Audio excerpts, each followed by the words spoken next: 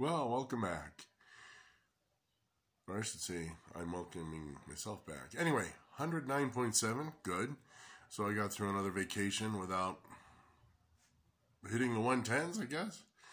Uh, so, so I have a couple of weeks before we get into our next Easter break, which comes at the end of April and the first week of May. So we're getting close to my one year anniversary here. Anyway, I have lost about 13 kilos, feel really, really good. It's uh, almost 30 pounds.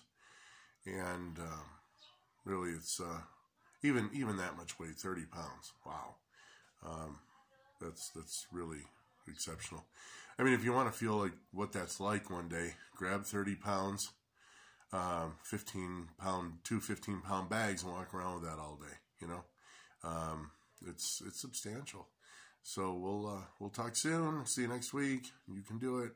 From fat to fit after 50. Hey, I'm making it happen. So can you. I ain't no better. Go get 'em.